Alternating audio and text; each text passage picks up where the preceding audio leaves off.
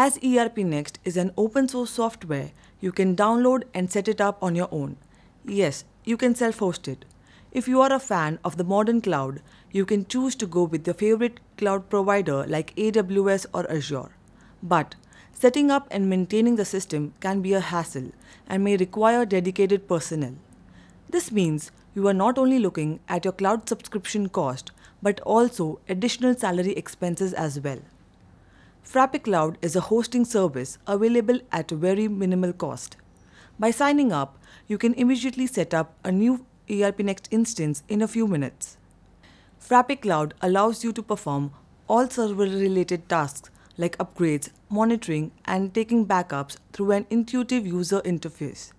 So, if you're looking for hassle free hosting, no server maintenance, automatic updates, low cost, access to marketplace apps, and much more, then Frappe Cloud is the best option. It is a way forward for all your cloud hosting requirements with best in class features.